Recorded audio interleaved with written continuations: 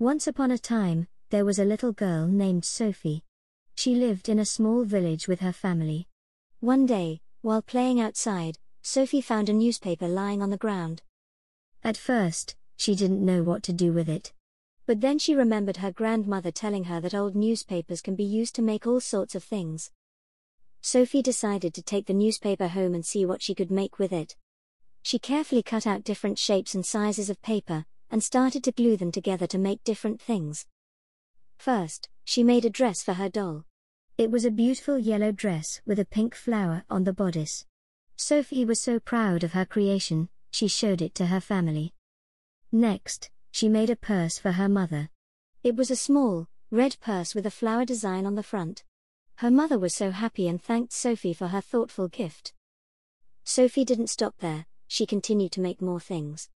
She made a hat for her father, a bookmark for her brother, and even a little picture frame for her grandmother.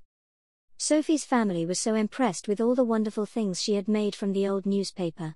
They were so proud of her creativity and resourcefulness. Sophie was happy to see her family happy.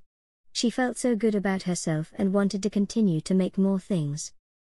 From that day on, Sophie would always look for old newspapers and make something new out of them. She would always think of new ideas and ways to make things. And that's how Sophie became known in her village as the girl who could make wonderful things from old newspapers. The end.